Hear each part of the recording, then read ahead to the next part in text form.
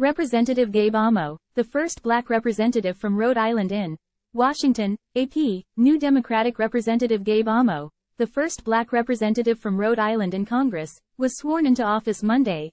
Amo, a Democrat, won a special election in November to replace Democratic Representative David Cicilline, who stepped down this summer to lead a nonprofit foundation. The House chamber burst into applause as Speaker Mike Johnson swore in the new lawmaker. The son of Ghanaian and Liberian immigrants, Amo worked most recently as a senior advisor to President Joe Biden. He previously worked in state government and in the Obama White House. Democrat Gabe Amo gives both thumbs up to the room full of election night supporters, Tuesday, November 7, 2023, at the Guild in Pawtucket, Rhode Island, after winning Rhode Island's first congressional district seat.